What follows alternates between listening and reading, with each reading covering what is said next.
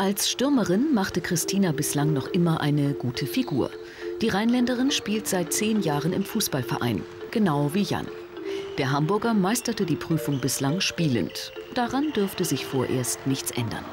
Das ist eigentlich meine stärkste Disziplin. Also Fußball ist eigentlich, spiele ich über zehn Jahre, das sollte doch was werden nachher. Rote Mannschaft, eins Fabian Donsbach. Zwei Jan Erdmann.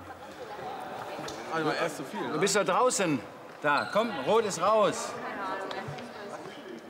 Rot ist komplett ausgewechselt worden. Aufwachen. Trink mal ein Tässchen Kaffee gleich, damit die grauen Zellen wieder munter werden. Leo. Sicher, erstmal sicher. Mach einen weiter. Lass ihn nur prallen. Und du gehst weiter. Ja. Schöne Aktion. Ballkontrolle, angetäuscht, aufgelegt, Torschuss. Sehr gut gemacht. Prima. Entschuldigung. Ja, der ist schon in Ordnung, Junge. Muss ein bisschen klarer abziehen. Ne? Er ist manchmal in Torschusssituationen, arbeitet gute Bälle raus. Und dann fehlt etwas der satte, präzise Abschluss. Aber den kann er im Laufe der Grundausbildung und dann, wenn er Schwerpunkt macht, noch verbessern. Ich habe schon besser gespielt, aber ich denke, das sollte gereicht haben. Ich glaube, dass er Fußballkompetenz besitzt und weiß. Also, ich glaube, alle haben ganz gut gespielt eben gerade. Wenn Räume eng macht in der Halle, gibt es nicht viele Chancen. Das ist so. Der, nee, der kann Gelb ist okay, der Blonde ist okay, der Rote ist okay, der Mädel ist okay. Die habe ich noch nicht gesehen jetzt hier, die. schön. Was gut ist, dass die richtig mitspielt. Ne? Ja. Guck mal da, jetzt auch da wieder. Ja gut, den wolltest du auflegen jetzt. Ne? Im Gegensatz zu heute Morgen, da waren auch drei Mädels, da war eine gute Fußballerin und zwei schwächere. Spielt die gut mit. Man sieht das ganze Bewegungsverhalten. Die bremst ab, die steht, die läuft nicht einfach blind auf den Ball, hat ein gutes Raumverständnis und hat auch eine gute Technik. Also die hat überhaupt keine Probleme. Ich könnte jetzt schon rausnehmen, aber die sollen ruhig paar Minuten spielen. Wenn Sie sich so an die, die Zahlen angucken beim Deutschen Fußballbund, der deutsche Frauenfußball boomt. Ja, man muss sagen, so in, seit der Weltmeisterschaft 2003 mit dem Titelgewinn ist halt auch Frauenfußball an Schulen und so weiter immer populärer. Und äh, wir haben also da auch einen deutlichen Zuwachs. Ja, und der liegt im zweistelligen prozentualen Bereich. Das merken halt auch die Studierenden, dass eben nicht mehr so die klassischen Sportarten, die Jungen spielen Fußball in, die Schule, in der Schule und die Mädchen die turnen oder machen Volleyball, sondern dass eben halt auch hier äh, Fußball gefragt wird. Und vor allen Dingen äh, gerade beim koedukativen Unterricht, sprich also wo Mädchen und Jungen gleichzeitig unterrichtet werden, ist Fußball halt auch eine inzwischen sehr beliebte Sportart. Okay, äh, Christina, wechseln Sie mal mit. Wen haben wir noch jetzt auf der Bank? Eins, zwei.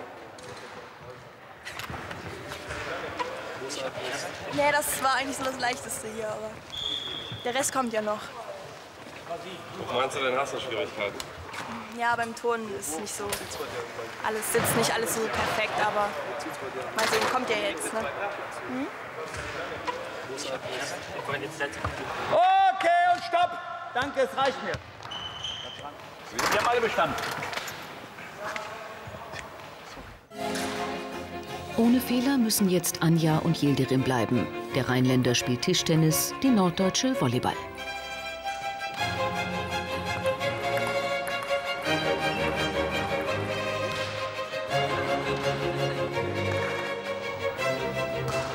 Yildirim will Lehrer werden und Sport an einer Schule unterrichten. Tischtennis spielte er bislang nur auf dem Pausenhof. Das soll für die Uni-Anforderungen reichen. Mit Ping-Pong hat die Prüfung jedoch nur wenig zu tun. Sind alle da? Erste Übung. Sie spielen nur mit der Vorhandseite. Ausschließlich, egal wohin der Partner den Ball spielt. Also gesamte Tischbreite abdecken, nur mit Vorhand. Kommt der Ball hier hin, laufen, Vorhand. Rückhand findet nicht statt. Teil 3, ein Ball mit Rückhand, umspringen, ein Ball mit Vorhand.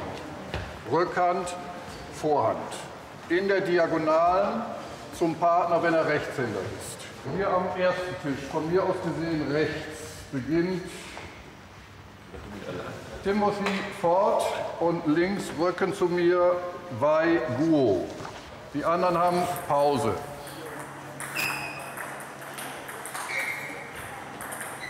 Boah, guck mal, der Chinese, wie der abgeht mit seinem China. Ich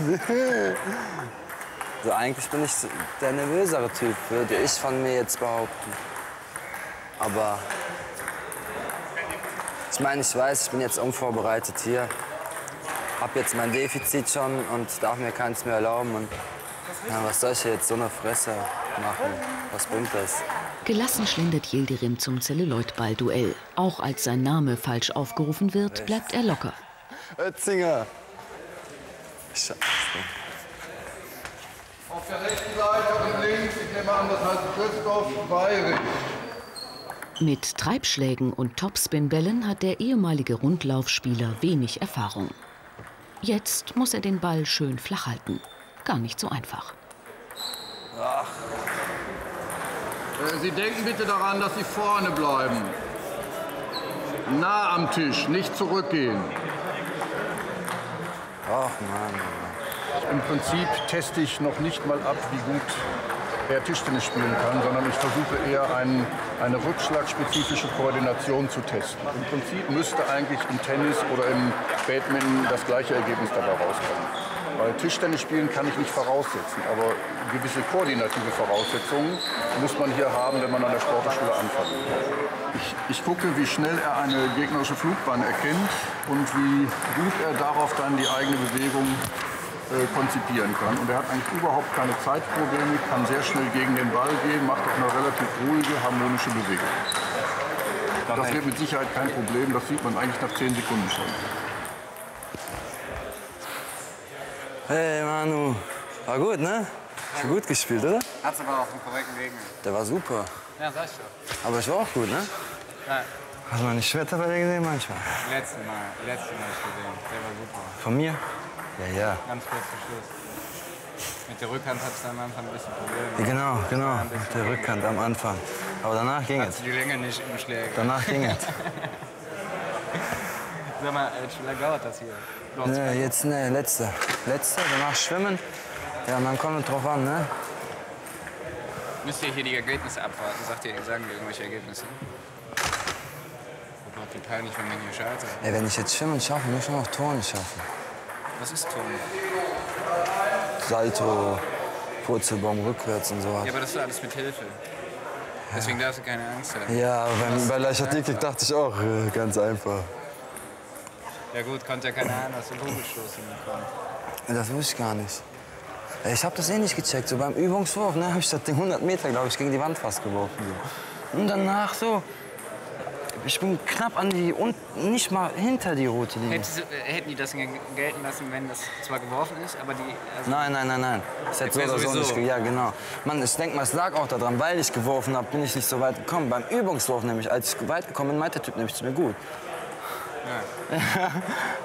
Weil sich aus dem Handgelenk so eine 7-Kilo-Kugel, zack. So, ich darf die Ergebnisse bekannt geben von den insgesamt 33 Kandidaten, die ich hier heute geprüft habe. In dieser Gruppe haben 31 ohne jede Einschränkung bestanden. Auf ein Defizit entschieden habe ich bei dem Herrn Ford und bei dem Herrn Saki. Ich wünsche Ihnen weiterhin viel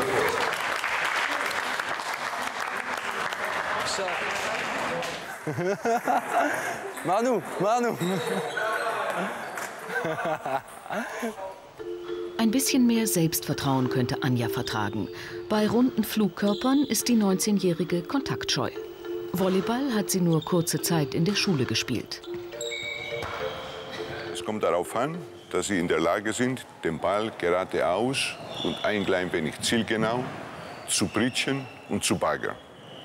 Ein wichtiges Prinzip der Eignungsfeststellung ist, dass Sie ökonomisch arbeiten. Ökonomisch heißt es nicht, dass Sie die ganze Zeit für die Aufwärmung um das Spielfeld herumlaufen, sondern am besten sich sofort mit dem Ball anfreunden und ein klein wenig sich äh, einspielen. Okay? Also, wenn jemand äh, den Ball als Feind betrachtet, ja, dann muss er leider oder sie durchfallen. Anja macht Aufschlag, ja?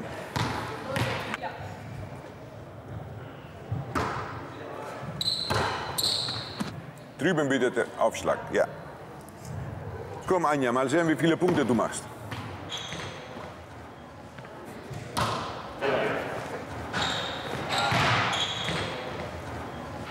Wenn der Aufschlag deutlich ins Aus geht, dann brauchen Sie nicht anzunehmen. Sie scheint eine Individualsportlerin zu sein. Ja? Das heißt, mit dem Ball ja, hat sie nicht sehr viel gemacht vorher. Wenn man tatsächlich überlegt, dass es ihre beste Mannschaftssportler ist, dann muss man für den Verlauf des Studiums ein großes Fragezeichen setzen. Allerdings, wenn wir ein klein wenig strenger wären, müssten wir 70 Prozent durchfallen lassen. Also nicht mit einem Defizit, sondern durchfallen lassen. Okay, meine Damen und Herren, kommen Sie bitte alle hier.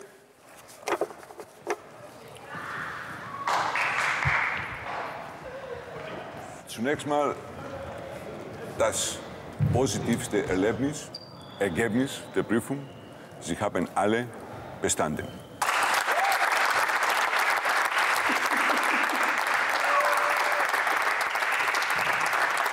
Das ist, das ist jetzt nicht ein Geschenk oder eine Großzügigkeit von mir.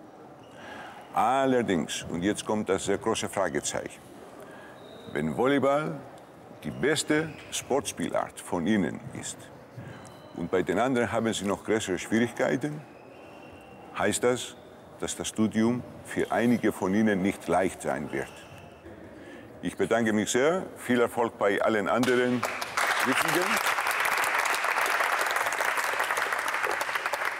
Und mit Frau Eckhoff möchte ich noch mal ein Wörtchen reden. Kommen Sie mal bitte hier. Welche ist Ihre beste Sport, äh, Sportart überhaupt? Turn.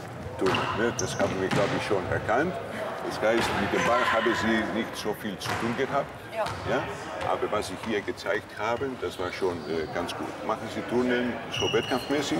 Habe ich bis vor zwei Jahren und dann hatte ich eine Verletzung und seitdem bin ich passiv und trainiere halt für Ja. kleine Kinder. So. Ja, schön. Mit ein bisschen Einsatz und gutem Willen schaffen Sie das. Okay? Viel Erfolg beim Studium. Dankeschön. Ja? Bitte sehr.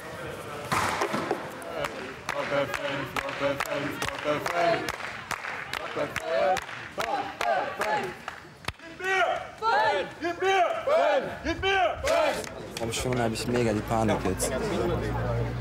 Also wenn ich das jetzt schaffe, dann habe ich schon bestanden. Für mich, für mich persönlich bestanden. Yildirim war früher Kampfsportler und Fußballer. Dank Hanteltraining macht er im Hallenbad auch heute noch eine gute Figur. Erster Test, ein Sprung ins kalte Wasser. Ihr sollt kopfwärts eintauchen, etwa zwischen 45 und 90 Grad. Also es soll kein Bauchklatscher sein, ihr sollt auch nicht überschlagen. Beim Eintauchen ein bisschen Körperspannung, dass ihr wie ein Pfeil ins Wasser schlägt, dass ihr nicht überschlagt, dass die Kniegelenke gestreckt sind. Okay?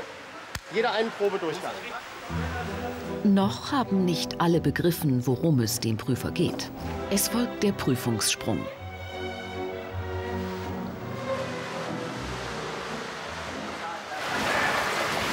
Du musst senkrecht ins Wasser eintauchen. Ja? Du bist, du bist angekommen und bist so weggegangen. Du musst in das Wasser reinkommen, nach unten wegzutauchen. Alles gut. Ja? Und viel höher springen. Ein bisschen höher, mehr nach oben springen. Springst du weit nach vorne. Ja, hab ich gemerkt. Nach oben springen und dann, wenn das Wasser ankommt, nach unten weg.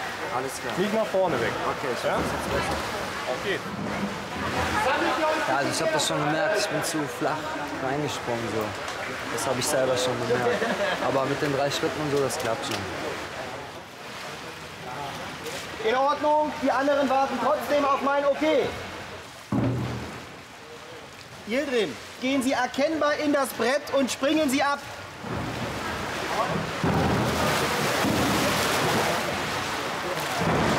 Machen Sie bitte den Eintauchwinkel ein wenig größer, aber sonst ist das okay.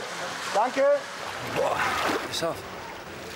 Ohne Körperbeherrschung geht beim Turnen nur wenig. Der Geräteparcours gilt ungelenken Bewerbern als motorische Folterkammer. Ja, okay. Und dann kommt Christina. Und nach Christina kommt David. Die Tortur beginnt für die Fußballerin am Reck. Dozentin Dr. Karin Martin kontrolliert den korrekten Bewegungsablauf. Die ersten Haltungsnoten an der Stange lassen noch hoffen.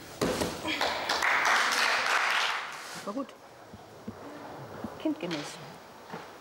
Wie ein Kleinkind. Achtung. Du musst deine Hose hochkrempeln. Du kannst dich so böse verletzen. Ich meine, es ist schön, so lange Hosen, aber für den Sport eigentlich untauglich. Lag an der Hose, ja. Ja, die rutschen ab. Lag an der Hose. ja.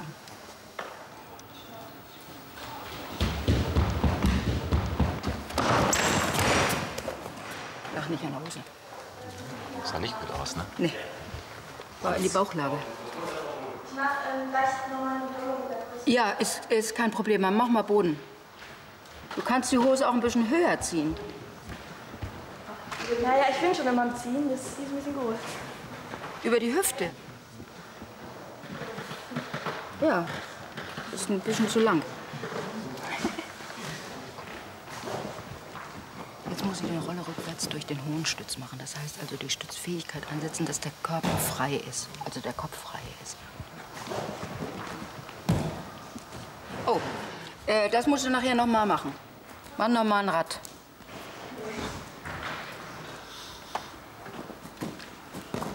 Weiter drehen. Äh, Christina, das machst du nachher auch noch mal. Bist du nervös? Ja? Musst du nicht.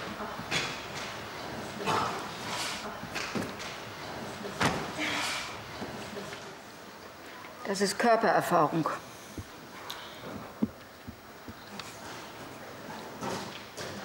Das reicht nicht, das musst du nachher noch mal machen. Du hast nur einen Körper, ne? Du hast nur einen Körper. Ja. Das fängt in der Schule an und geht hier genauso weiter. Dass die Leute sehr sportlich aussehen und schlank sind. Und gerade bei den Frauen in der Rumpfmuskulatur. Die können keinen Handstand, die können kein Rad, die haben keine Körperspannung, weil die Rumpfmuskulatur nicht richtig ausgebildet wurde. Und das ist schwer dann in den 20ern nachzuholen. Wer sich im Turnen früh übt, ist auch in der Leichtathletik im Vorteil. Schon als Kind trainierte Anja Eckhoff an Boden, Balken und Barren. Marco Elscheid fehlte bislang der Mumm in den Knochen. Jetzt muss er die Kugel über 7,60 Meter stoßen.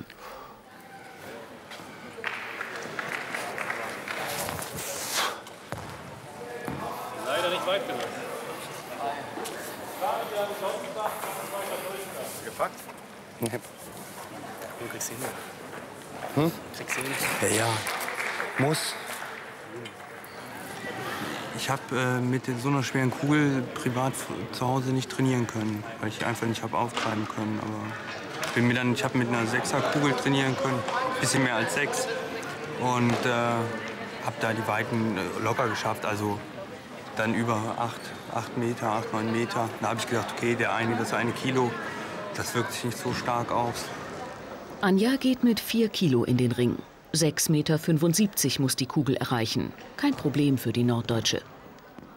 Damit bin ich durch. Jetzt kommt als nächstes Hochsprung. Dann mal schauen, wie das wird. Es ist eine Überwindungssache, darüber zu springen. Ganz oft trainiert und ganz oft auf der Latte gelandet, bis nachher der ganze Rücken mehr oder weniger blau war und dann ist so eine Blockade da. Ja, und jetzt versuch dann einfach drüber. Einfach nur mal so, auch wenn wir können die Stange mal kurz runter tun, damit es nicht wehtut, als wenn es da dran liegt.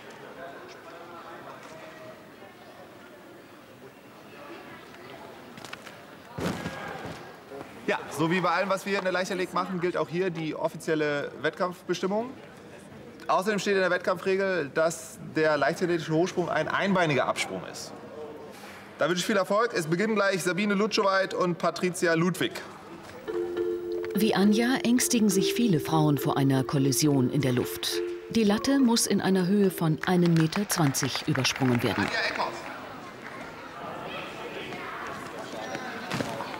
Was war das? Durch müssen. Sah gut aus eigentlich. Marco Ehlscheid. Erfolgsdruck beim Kugelstoßen. Dem 19-Jährigen bleiben noch zwei Versuche. Wenn er die Weite nicht schafft, scheidet er aus. Er ist übergetreten und er war geworfen. Keine Chance habe ich noch. Die Kraft schwimmt schon. Boah. Was, äh, was jetzt beim dritten? Wie wirst du das angehen, irgendwie, um da noch mal alles reinzulegen? Vor allem ruhig. Vielleicht nicht dran denken, dass es der dritte und letzte Versuch ist. Und dass es ein mögliches Austern bedeutet. Naja, dritter Versuch. Heiko! Elena Dunkel. Jeder Luftsprung kostet Anja Nerven. Da sie schon beim Zeitschwimmen zu langsam war, darf sie sich keinen Fehler mehr leisten.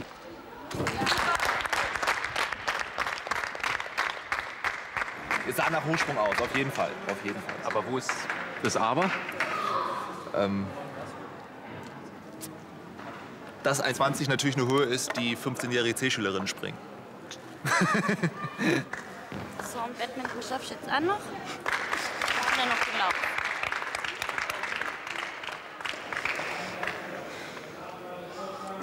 War doch alles nicht so schlimm. War der Raubspringen. Oh. Einer du musst den Hügel rauswerfen. Worüber müssen denn kommen? Über die rote oder die Rote. gelbe? Da packst du doch. Muss jetzt. Geworfen.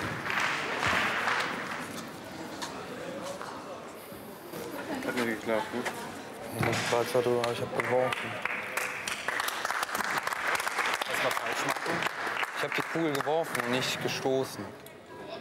Das heißt, die Kugel ist zu früh vom Hals weg. Und somit, und somit nicht die Bewegung nach vorne, sondern mehr zur Seite. Und jetzt ist Feierabend. Jetzt vorbei, genau.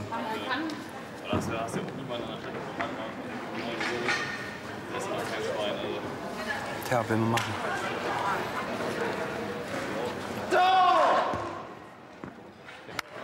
Laura, müssen wir jetzt noch hier bleiben, ja? Weißt schon Bescheid? Ich weiß schon Bescheid, ja, ja. Gut. Kann ich aber dann Sorry. fahren. Ja, nee, Ja, ich komme im. Sommer Also, komme ich ja wieder. Oder im Frühjahr keine. ist das, ne? Februar, genau. Februar. Gibt Na keine Bescheinigung für nicht bestanden, sondern Nee. Das beim brauch ich auch Mal nicht. nochmal. Tut mir leid. Ja, gern. Ja, Achso, hier. dann, ne? Jo, tschüss.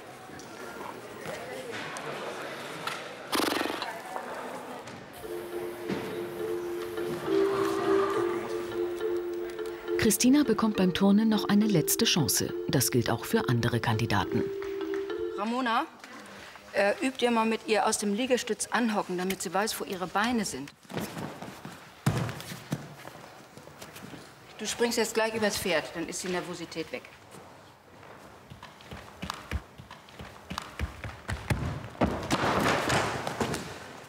Ramona, nachher noch mal, ne?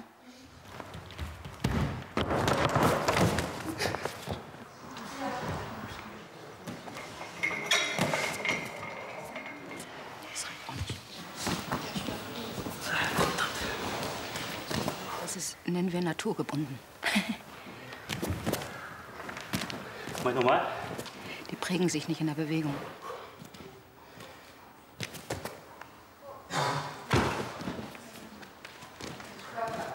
Mach noch mal ein Rad.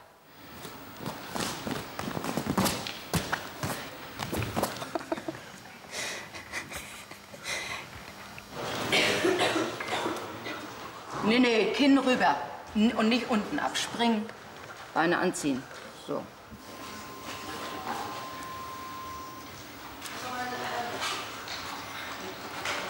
Rüber. Mit dem Kinn. Rüber, rüber, rüber, rüber. Sie, komm.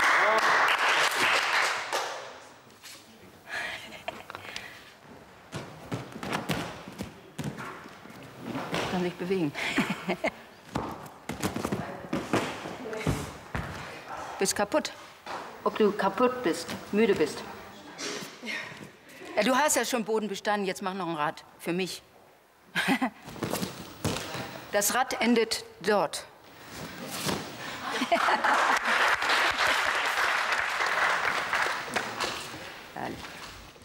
Mit neuem stolperfreiem Beinkleid tritt Christina an. Der nächste Fehler im zweiten Durchgang kostet sie ihren Studienplatz. Was ihr noch droht, haben talentfreie Turner schon schriftlich. Ein Defizit, ein Defizit. Die sind raus, die sind drin. Christina, habe ich dich vergessen? Ja. Ich war ja eine andere Hose anziehen. Und dann Ach, wegen das, Hose. Ich habe Du zu musst noch. Bodenturnen machen. Mhm. Ja, mach mal Bodenturnen. Christina, ne? Tja. Ja, du kannst. skeptischer Blick. Genau. Naja.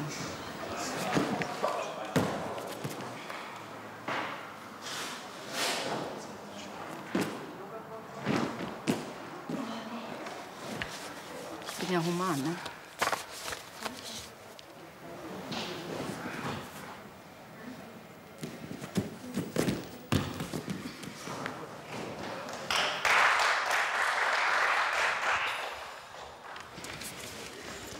Und Pferdsprung, ne? Auch noch? Ja. Ach ja, stimmt. Können ihr noch einmal bitte festhalten?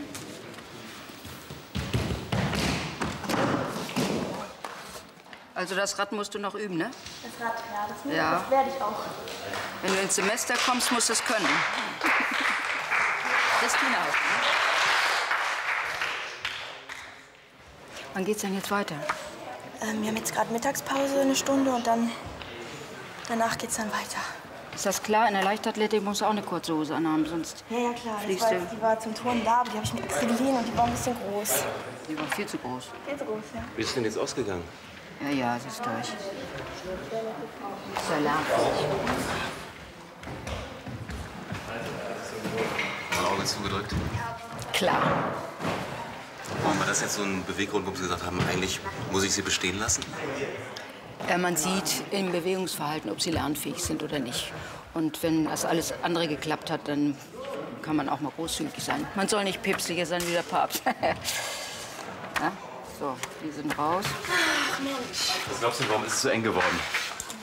Ähm, Aufregung auf jeden Fall. Also, ich bin dann irgendwie. Dann geht gar nichts mehr. Ist halt doch schon so eine Anspannung. Ist was anderes, als wenn man es jetzt trainiert oder so. Das vieles, was halt beim Training so reibungslos geklappt hat, ist halt jetzt äh, dann doch ein bisschen so am Rand, ne? Und knapp. Danke.